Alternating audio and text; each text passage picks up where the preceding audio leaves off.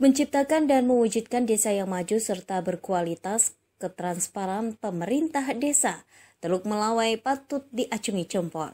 Pasalnya, pemerintah desa Teluk Melawai telah mensosialisasikan dana bantuan langsung tunai PLT kepada puluhan masyarakat di desa Teluk Melawai, Kecamatan Lahi Barat, Kabupaten Barito Utara. Kamis 10 Desember 2020, puluhan masyarakat desa diundang untuk menghadiri sosialisasi bantuan langsung tunai yang akrab dengan sebutan BLT. Sugitu Rianto selaku Kepala Desa Teluk Melawai mengatakan bahwa aparat desa wajib mensosialisasikan terkait bantuan BLT tahap 3 di tahun 2020 ini kepada masyarakat desa hingga ada keterbukaan dan transparansi antara pemerintah desa dan masyarakat desa itu sendiri.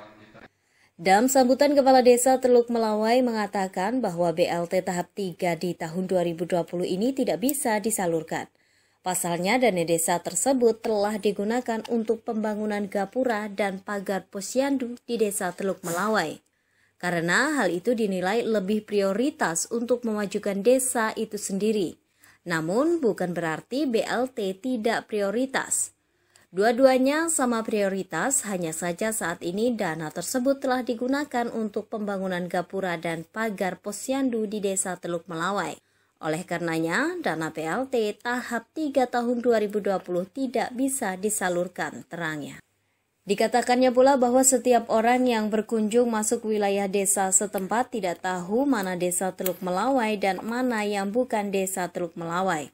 Pasalnya desa Teluk Melawai tersebut berceceran dengan beberapa desa lainnya sehingga membingungkan masyarakat yang pertama kali memasuki desa Teluk Melawai tuturnya.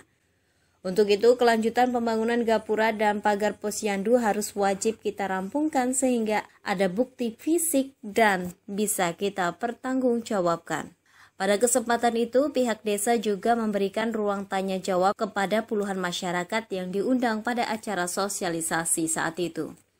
Beberapa undangan menyampaikan ucapan terima kasih mereka atas segala keterbukaan aparat desa dalam mengelola keuangan desa sehingga bisa tepat sasaran dan nyata ada bukti fisik.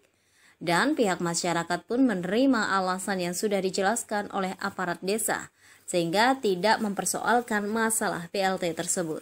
Hasil dari kesepakatan seluruh peserta musyawarah BPD dengan pemerintah desa dan juga penerima KPM kami sepakat tidak menyalurkan uh, bantuan langsung tunai dana desa 3. Alasannya karena ada yang lebih prioritas yaitu pembangunan gapura batas desa di uh, RT 1 Desa Teluk Melewai dan pembangunan pagar uh, posyandu halaman posyandu di RT 2 Desa Teluk Melewai. Kalau 2021 sudah kita masukkan di uh, rencana kerja pemerintah desa bahwa tetap nanti akan kita masukkan di anggaran pendapatan dan belanja desa setiap uh, satu tahun kali berjalan itu tetap kita salurkan yaitu bantuan dari dana desa BLTDD itu sebesar Rp200.000 per bulan itu juga selama enam bulan itu sudah keluar aturannya dari Kementerian Keuangan.